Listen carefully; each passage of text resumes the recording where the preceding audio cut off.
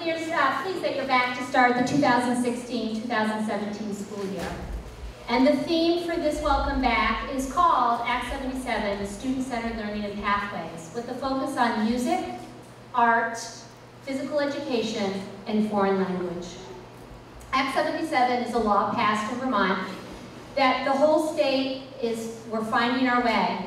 And what's going to happen in our presentation today is our middle school and high school students and staff are going to help to share with all of us what Act 77 is all about. So today you can sit back and enjoy the presentation. So you get the big picture, and I can't do my movements, but there is a regional group of 10 supervisor unions that sit on the southwest corner of Vermont who decided we're going to work together to do this work. In our district, we have an SVSU proficiency-based learning committee that just was formed last year. It has middle school and high school staff, students, parents, and community members. And we meet to try to make sure that we understand what Act 77 is all about, and then find a way to share all that information with you.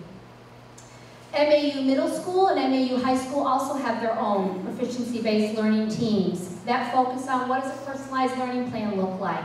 How are we going to implement proficiency-based graduation requirements? And how do we make learning student-centered?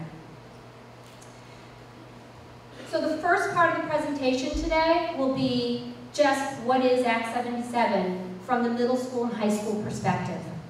The second part of the presentation is a pleasure for me. When I was hired two years ago, one of my first conversations was with the high school art teachers. And, and I am so not an artist. And I was very upfront with them about that. But in the course of our conversation, and then my conversations that followed with music and physical education and foreign language, I realized they all really have this wonderful thing in common. They provide pathways for our students, rich pathways, that excite our students. My own two children have been touched in one way or another by all four of those different areas. And so I'm pleased to be able to highlight their work today. So before we begin, I am going to ask all of our art, music, physical education, and foreign language teachers to please stand so we can celebrate you for a moment.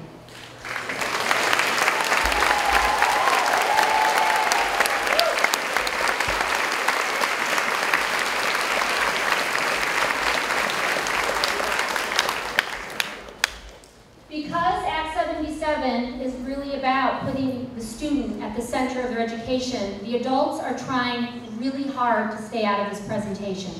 Really hard. We're a little, we're, we're kind of control freaks, but we're working on it.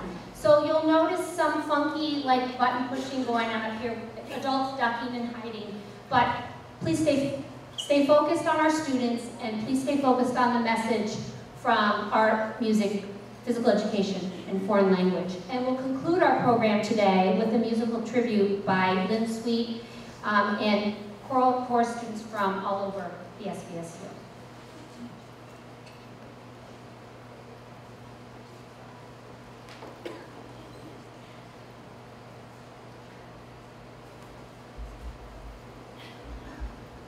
Good morning. My name is Chris Marin. I'm a rising sophomore. Hi, I'm Kalina Korzek, and I am a rising senior at the high school. I'm Willow, and I'm also a rising senior at the high school. All right, so what is Act 77, Flexible Pathways to Graduation?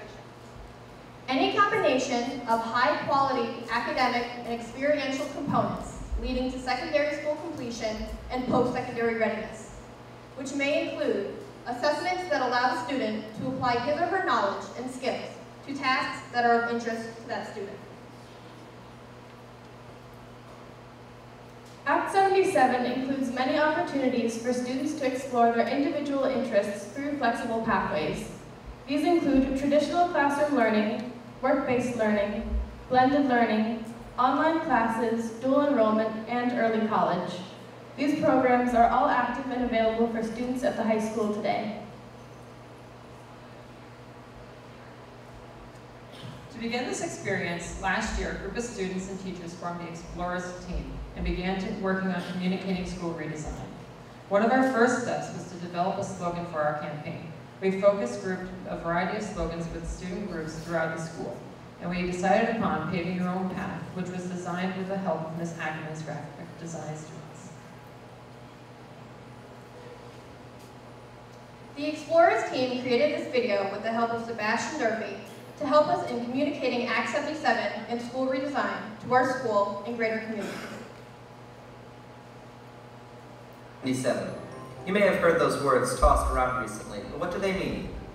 In short, Act 77 is a law passed by the Vermont legislature that helps provide new approach to education through access to personalized learning that will help each student become stronger, both as an individual and as a member of the community.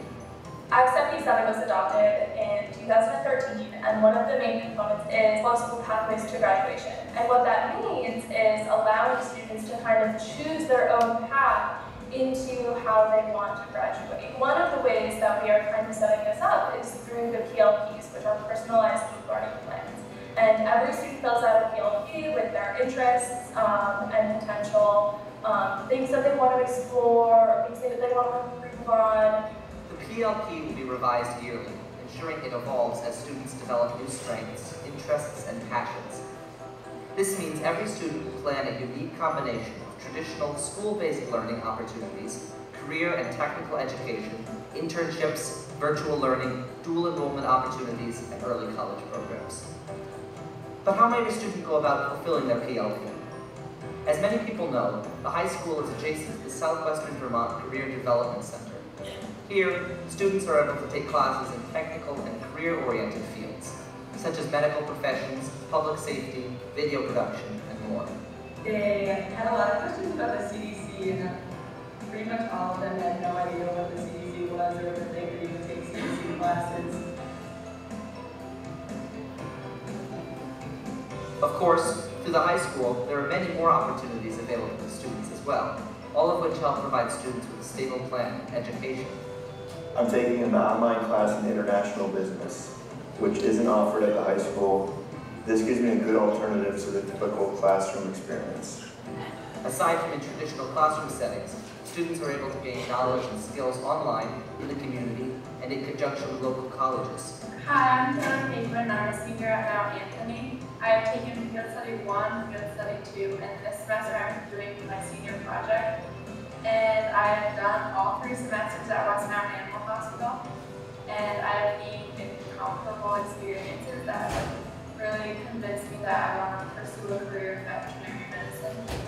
Um, so senior project uh, was a class that they're taking forward, and um, I really do feel it helps prepare uh, kids for college because you do your own learning. You get an outline uh, beginning of the semester, and you are given the whole semester to uh, complete the project. I'm Thomas Tibbett. This past year during my senior year, I took classes at CCV as a part of a program that CCV offers. Taking these classes prepared me for college in various ways. One way is it helped me out with time management. For instance, if I have a certain amount of homework that needs to be done by a certain class time, things like that sort, I'm glad that I was offered this program because it helped me establish a better future for myself. So I believe Act 77 is essential to success in the 21st century world that our students are going to be confronting. The opportunity in high school to do a job shadow, or do several job shadows to see what it's like in the real world. The opportunity to do a field experience or an internship or a senior project where you just research something that you're passionate about is a huge opportunity for every student. And I think what Act 77 will do in the end is ensure that every single student gets what they need to be successful and meet their dreams while they are in high school so that they leave high school better prepared to open the doors that they want to open. I hope you enjoyed the film. And this year, our Youth Adult Partnership will seek new adult and student members as we continue educating our community about and implementing Act 77, flexible pathways to graduation. Thank you.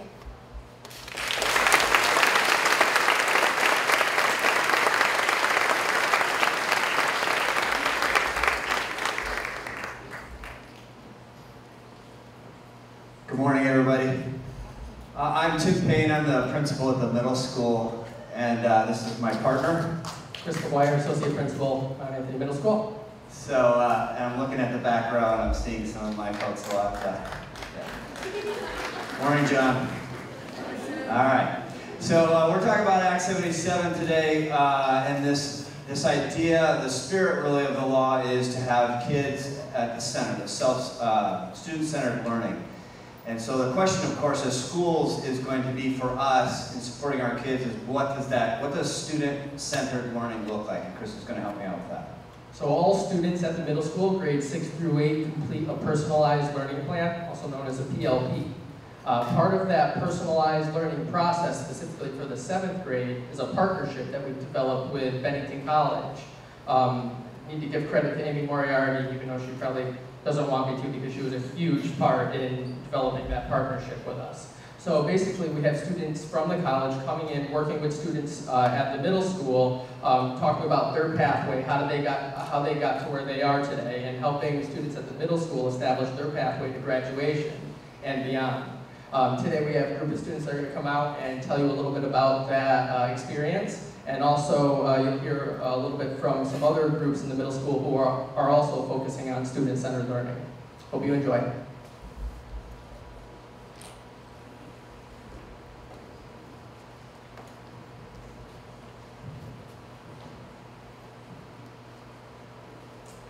Hi, I'm Amy Moriarty of Mount Anthony Middle School, White Rocks team. Hi, I'm Noah Pembroke. I'm Carson Gordon. And I'm Cole Fraze. Very proud this morning to be with these gentlemen who are representing our school and our team. We have a few answers and questions for them. First question. How did the personalized learning experience help your view or impact your view of school and education? Uh, it helped me like take a hold of my education, like when I was gonna go, if I ever, well, I will go to college, but um, it helps me like what plan out what I want to do for my education, like what I want to major in and stuff like that. It helps us look at not just what we're doing now, but what we might do later in high school. It helps me think about like what they were saying, what I'm going to do after school, and what I'm thinking about doing when I get done with school. Second question. What was your favorite part of the personalized learning process? Well, the the whole process was pretty fun, but the best part was when we when the Bennington College students came to our school and we got to talk to them about our PLPs, and I I got to like connect with them with my PLP, and they can like say what they put in theirs. The Bennington College kids came to our school and told us their stories, and then some of us got one-on-one meetings with them about the PLPs, and they told us what they put there in their lives to help us put what we do there. Um, my favorite part, at least for me, was the two on the one-on-one meetings. Uh, I really like to just it really helped me think about what I wanted to do, and it helped me more talk with somebody and see if I should put that there and I should put that there. And it helped me kind of figure out the PLP and what I was doing right and what I was doing wrong. No wrong. They did it right. Thank you, gentlemen.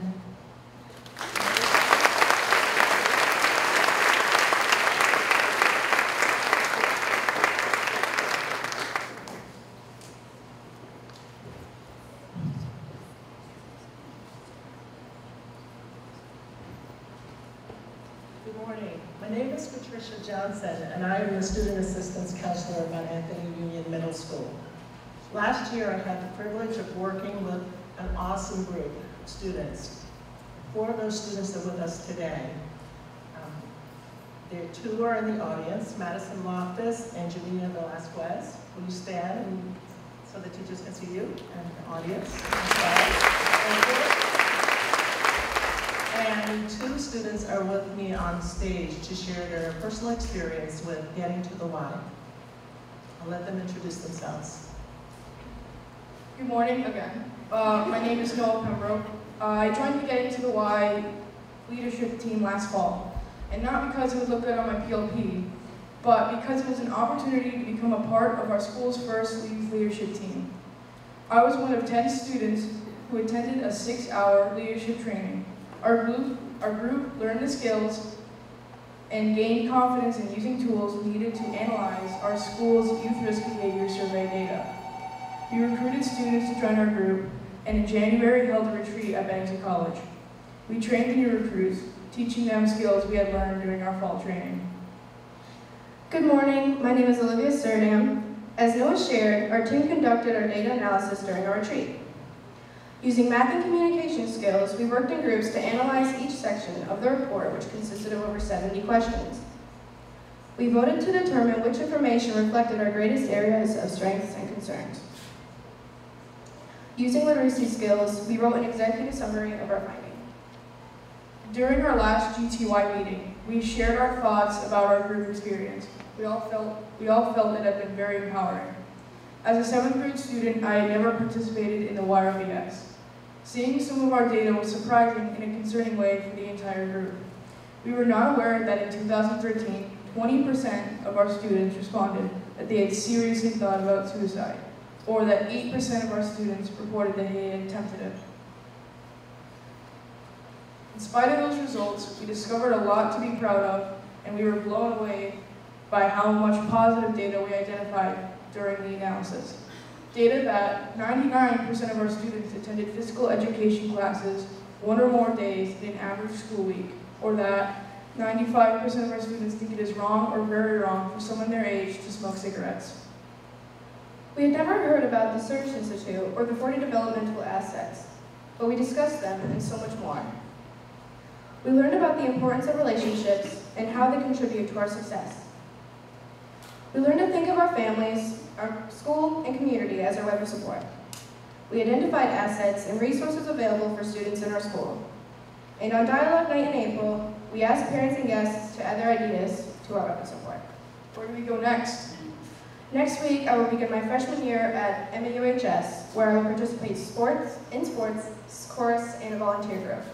Next week, I will enter the 8th grade at Mount Anthony Union Middle School. I will continue as a member of the leadership team as we recruit new members and prepare to analyze our 2015 ORBS data, which was released in July. We hope you enjoy our presentation.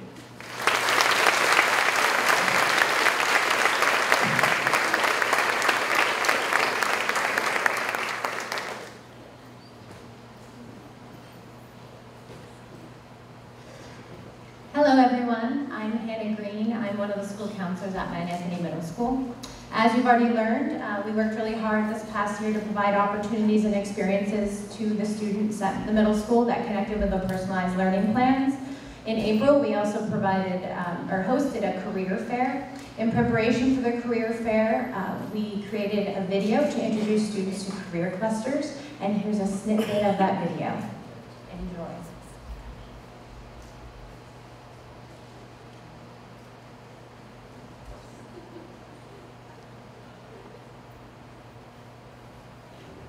Hey, Mr. Lee, um, can you tell me a little bit about what's uh, going on behind you today? Well, welcome to my construction session. What we're doing today is we're building next-story condominiums for all kinds of families to come in and have fun, live together, swimming pools, dog parks, everything that you need. You can see a lot of work that's going on back here. All the boys are working hard, taking care of the equipment, moving things around the earth. And I know that you, you need to understand when you're working on a construction site, there's certain skills that you gotta have. You gotta be able to read, that's very important. So you know what orders you're filling, the things you need to build. You gotta be able to do math, because with math, you gotta have the blueprints. With the blueprints, you gotta build the buildings, you have to know all of that stuff. So it's very important to know all of those things so we can get this done. So, uh, your career is uh, that's part of the uh, engineering, man manufacturing, and industrial technology career cluster.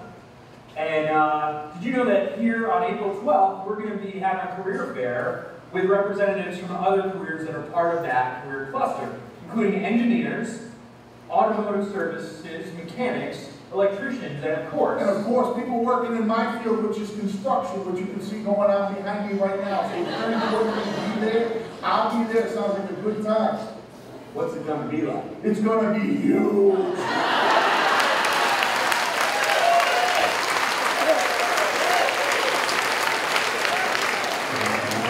Oh,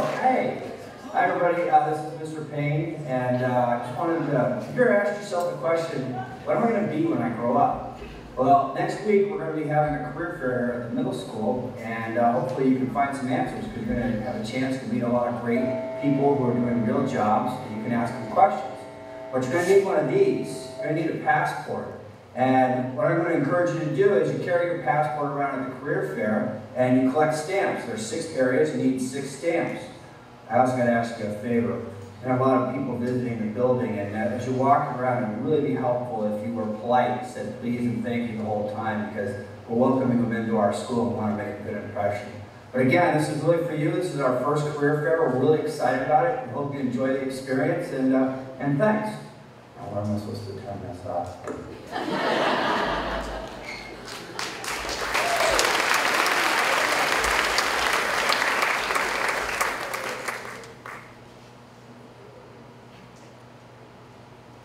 There may be, there may be as many unique pathways as there are students. Such, such flexibility in students' experiences will require that student personnel, students, and parents are familiar with the school-based course offerings, virtual learning opportunities, community work-based learning opportunities, and dual enrollment options. Traditional educational experiences are considered one pathway.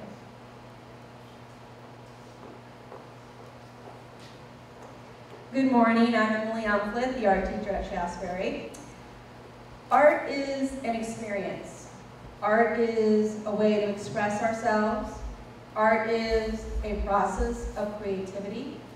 Art is a time to explore new materials. Art is an integration tool, a pathway, a way to collaborate with all the subjects in our students' learning. We can develop these skills and passions to support our students' knowledge and related to their interests for their future learning. The art teachers have spent the last two years interpreting the Common Core art standards to create a local curriculum document that defines what students should know and be able to do. We have four overarching standards. Creating, performing, presenting, producing, responding, and connecting. We provide students pathways to the arts to work towards these four overarching standards and standards from other curriculum areas. I myself have worked with many teachers collaborating, collaborating art within their curriculum. I recently worked with my fourth grade teachers on their Vermont unit and third grade teachers on their Native American unit. The arts created a pathway to integrate creative visuals for their units utilized during, during student art time. I am fortunate to have been able to work collaboratively with all my Shaftsbury teachers and know communication and teamwork are the key to creating many pathways to enhance our students' learning. We are excited to see a focus on the many school-based course offerings that give our students pathways into their learning and how we can work together to make these opportunities happen in all grades. Here's a high school student. Hi, I'm Kira Hansen. I'm a rising junior. When I was in elementary school, art was my favorite class. When I moved to Highland Hall, a small progressive elementary and middle school, art was always encouraged during free time. And once we got to the upper school, a parent who's an artist would come in every Friday and give us art lessons. Through the whole week, we all looked forward to Friday, not just because of the weekend, but because Friday was art day. Since I've come to the high school, I've taken art classes galore. That's one way that art has been incorporated into my education, actual art classes. However, art is a part of every student's education because everyone is asked to use art in each class. Making diagrams, maps, and short comics or drawings are common assignments given in all subjects. It is for this reason that it is important for all students to get a foundation in art. By having art incorporated into my education, I have developed skills that I use to succeed in all of my classes. An art education has helped me to be ready for any kind of education or assignment that may come my way. And, not to mention, I love art and can't imagine not having those classes in my schedule. Not only do they provide skills, but art classes are a refuge, a place for students like me who love art and see it as a part of their life, necessary to their sanity. Art classes are a place where students can develop their skills and express themselves in ways they couldn't in other academic arenas. All important things in every type of education.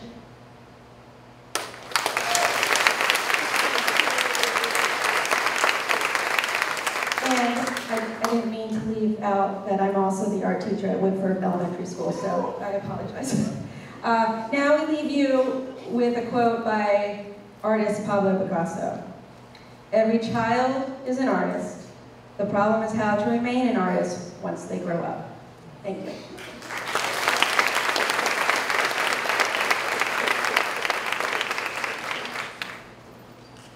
Good morning, I'm Susan Green. I'm a music teacher at Shaftsbury School. I, I paid them. um, music is not a frill. Music education is a necessity. It develops both hemispheres in the brain, thereby increasing a student's ability, all students, to learn well. I stand here as living proof that music keeps kids in school because everybody plays, nobody sits on the bench.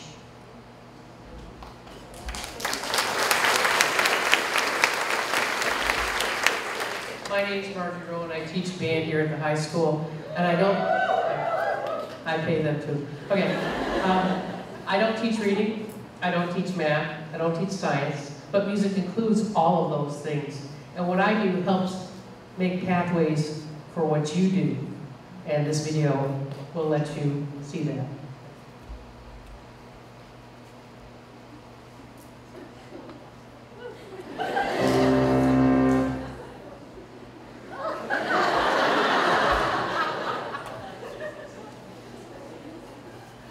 Did you know that every time musicians pick up their instruments, there are fireworks going off all over their brain? On the outside, they may look calm and focused, reading the music and making the precise and practiced movements required. But inside their brains, there's a party going on. How do we know this? Well, in the last few decades, neuroscientists have made enormous breakthroughs in understanding how our brains work by monitoring them in real time with instruments like fMRI and PET scanners. When people are hooked up to these machines, tasks such as reading or doing math problems each have corresponding areas of the brain where activity can be observed. But when researchers got the participants to listen to music, they saw fireworks. Multiple areas of their brains were lighting up at once as they processed the sound, took it apart to understand elements like melody and rhythm, and then put it all back together into unified musical experience. And our brains do all this work in the split second between when we first hear the music and when our foot starts to tap along. But when scientists turn from observing the brains of music listeners to those of musicians, the little backyard fireworks became a jubilee. It turns out that while listening to music engages the brain in some pretty interesting activities, playing music is the brain's equivalent of a full body workout. The neuroscientists saw multiple areas of the brain light up, simultaneously processing different information in intricate, interrelated, and astonishingly fast sequences. But what is it about making music that sets the brain alight? The research is still fairly new, but neuroscientists have a pretty good idea. Playing a musical instrument engages practically every area of the brain at once, especially the visual, auditory, and motor cortices. And as with any other workout, disciplined, structured practice in playing music strengthens those brain functions, allowing us to apply that strength to other activities. The most obvious difference between listening to music and playing it is that the latter requires fine motor skills, which are controlled in both hemispheres of the brain. It also combines the linguistic and mathematical precision in which the left hemisphere is more involved, with the novel and creative content that the right excels in. For these reasons, playing music has been found to increase the volume and activity in the brain's corpus callosum, the bridge between the two hemispheres, allowing messages to get across the brain faster and through more diverse routes. This may allow musicians to solve problems more effectively and creatively in both academic and social settings. Because making music also involves crafting and understanding its emotional content and message, musicians often have higher levels of executive function, a category of interlinked tasks that includes planning, strategizing, and attention to detail, and requires simultaneous analysis of both cognitive and emotional aspects. This ability also has an impact on how our memory systems work. And indeed, musicians exhibit enhanced memory functions, creating, storing, and retrieving memories more quickly and efficiently. Studies have found that musicians appear to use their highly connected brains to give each memory multiple tags, such as a conceptual tag, an emotional tag, an audio tag, and a contextual tag, like a good internet search engine. So how do we know that all these benefits are unique to music, as opposed to, say, sports or painting? Or could it be that people who go into music were already smarter to begin with? Neuroscientists have explored these issues, but so far they have found that the artistic and aesthetic aspects of learning to play a musical instrument are different from any other activity studied, including other arts. And several randomized studies of participants who show the same levels of cognitive function and neural processing at the start found that those who were exposed to a period of music learning showed enhancement in multiple brain areas compared to the others. This recent research about the mental benefits of playing music has advanced our understanding of mental function, revealing the inner rhythms and complex interplay that make up the amazing orchestra of our brain.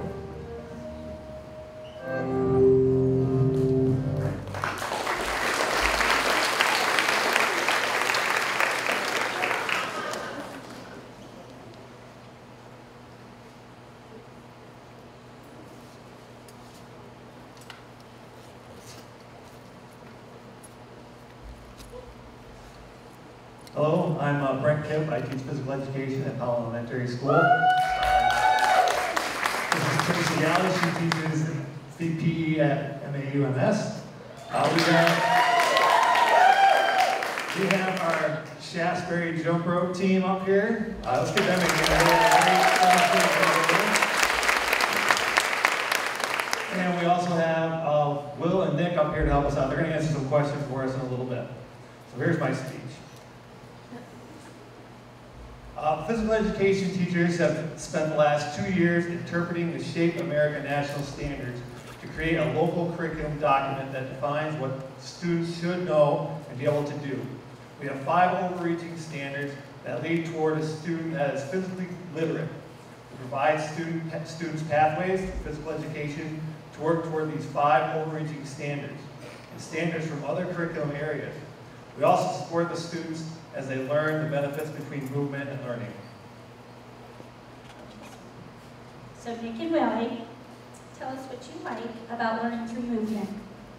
All right, so and I feel like movement is one of the most important aspects of strength and conditioning. If you don't know the, right, the correct movement, you're gonna get results in injury.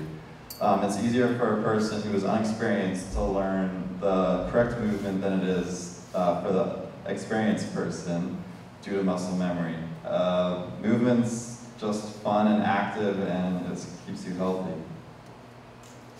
Also, I feel like movement is a very important part of every aspect of education, from mental to physical challenges. It teaches you how to push yourself and to get that one last rep or to study it that extra little bit to get a good grade that you want in your math test. It teaches you how to push yourself and gets you that right mentality to do what you need to do and put yourself a little bit higher than you would have expected yourself to. So here at the high school, they take a strength and conditioning course, and um, we want you to touch upon the balance between reviewing the research materials and applying it to movement. So three out of the five days we would lift, and then the other two days we would go into the classroom and learn about sports nutrition, sports facts, and all on those lines. And every single month we had to do this uh, paper uh, online, and you would basically choose whatever subject you would want for exercising, and what you would try to do in the classroom is implement it into the strength conditioning lifting parts of the program.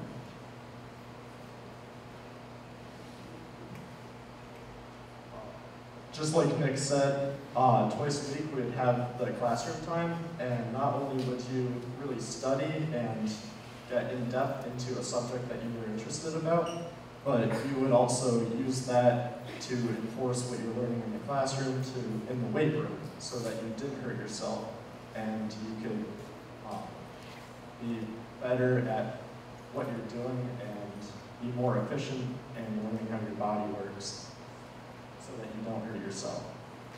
Okay, thanks, boys. Thanks, girls.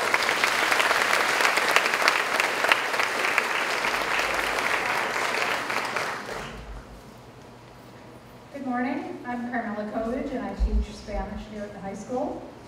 As foreign language teachers, our goal is to help our students acquire the skills to communicate in another language and to understand cultures of other countries. Knowing a foreign language has many benefits. For example, it promotes tolerance, enhances your travel experiences, broadens your employment opportunities, boosts your brain health, gives you a better understanding of your native language, and builds self-confidence, just to name a few.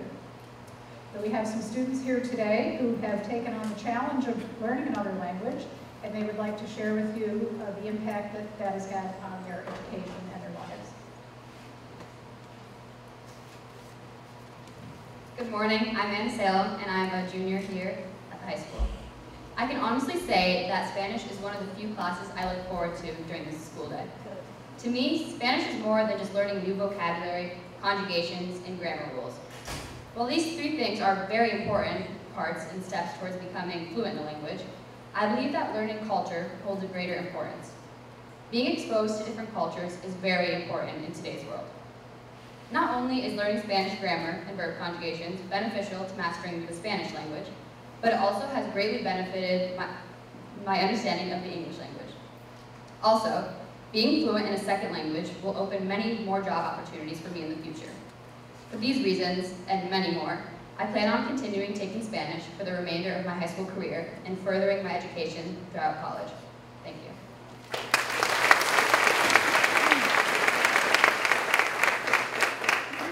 Um, bonjour.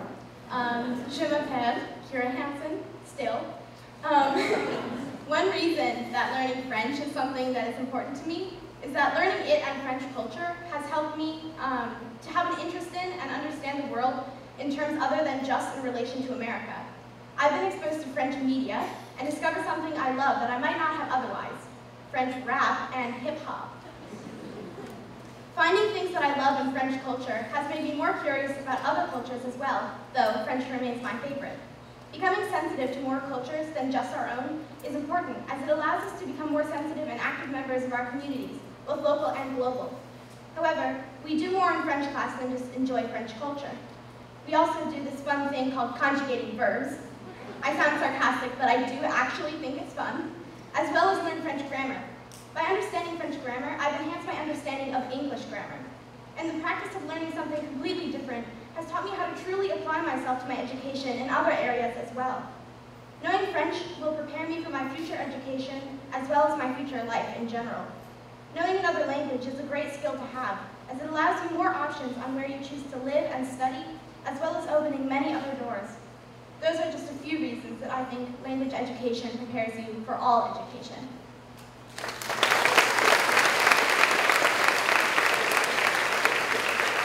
Good morning, everyone. My name is Sophie Peacock. I graduated from Mount Anthony in 2014, and I'm currently going into my junior year at St. Michael's College with a major in Spanish and a minor in applied linguistics. The foreign language department here at Mount Anthony greatly helps me prepare uh, myself for the academic demands which I've been faced with these past two years. In my AP Spanish class, we practiced our speaking skills by recording ourselves while we talked about various topics, forcing ourselves to step out of our comfort zone and apply the grammar and vocab we have been studying since middle school to effectively communicate on the spot. The use of technology in the classroom also helps prepare myself for college courses. We were given a weekly assignment to communicate with native Spanish speakers from a website for language learners and had topics we discussed with them and later would share our findings in class in Spanish. I made mistakes with natives, I stepped out of my comfort zone, but they helped me become familiar with the language through this form of immersion, which led me to be more confident in Spanish upon graduating. From this website, I made acquaintances with whom I've continued practicing and have been able to learn about other Hispanic cultures and dialects. The Spanish Honor Society also gave us the opportunity to teach Spanish to elementary students, which ultimately has helped me decide what I'm going to college for, to teach Spanish and English as a second language. I encourage teachers to give their students activities which are interesting yet different from the traditional textbook exercises, pushing them to advance in that area in order to ready them for graduation and post-secondary education. Thank you.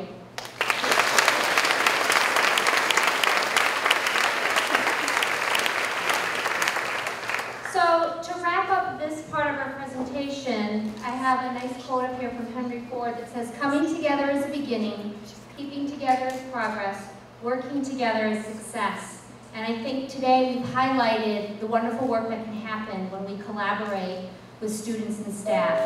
And I'm going to leave this part of the program before I turn it over with a little quote from Willing to be Disturbed by Margaret Wheatley.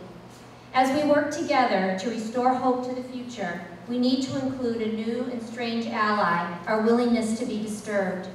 Our willingness to have our beliefs and ideas challenged by what others think. No one person or perspective can give us the answers we need to the problems of today.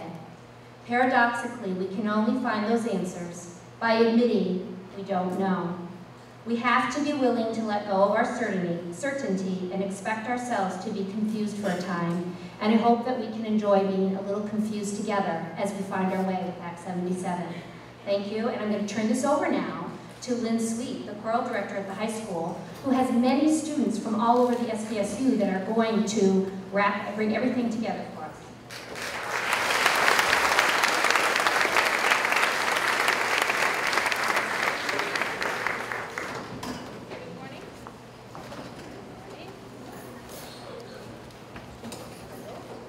White microphone. Spencer. White microphone? Oh, there we go. Sorry about that, hon.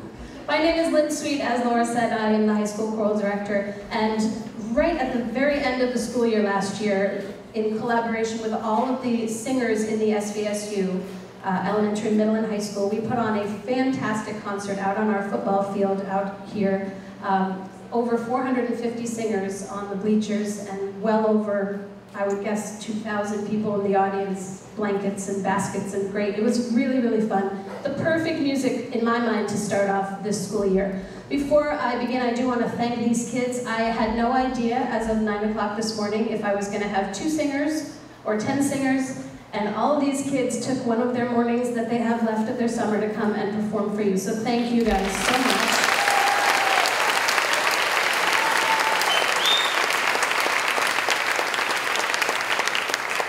They're going to take it over from here, but I am going to say to you the words of the first song that they're going to sing, just in case the audio is not clear for you. The words are teachers and parents, governments and schools. Please take me seriously, give me tools. My young heart believes what you tell, so teach me, teach me well.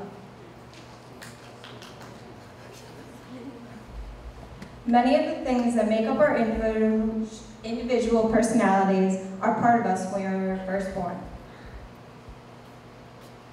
The, there are many more things, however, that we learn as we grow. Naturally, since children don't know everything when they are born, they must be taught. All of us rely on adults to teach us what we need to know. Parents and teachers are the adults who affect our growth and development most. The more, the more adults are aware of the critical nature of their roles in our development, the more they can do to help. Confidence, pride, self-worth, and self-respect must be carefully taught to all children by adults. When children are taught well, they have a better chance of happiness through their lives.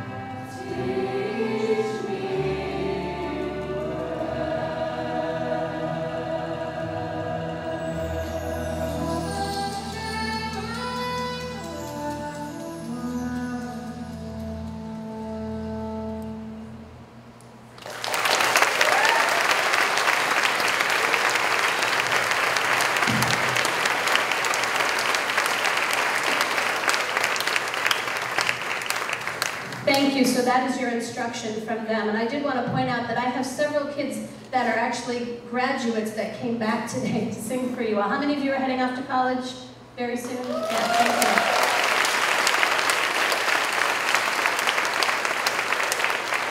obviously, because it says so on our shirts and on the picture behind you, the show is called Proud.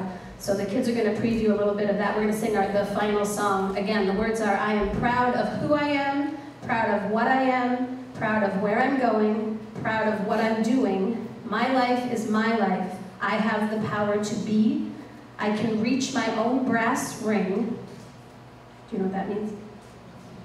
Look it up on, about a carousel. And pull it for me. It is up to each of us to try and be the best that we can be. We can, we can grow, we can learn, and we can teach every day for the rest of our lives. All we have to do is try. We are each equipped with special qualities that no one can take from us. We are each a blend of special elements that no one else in this whole world has.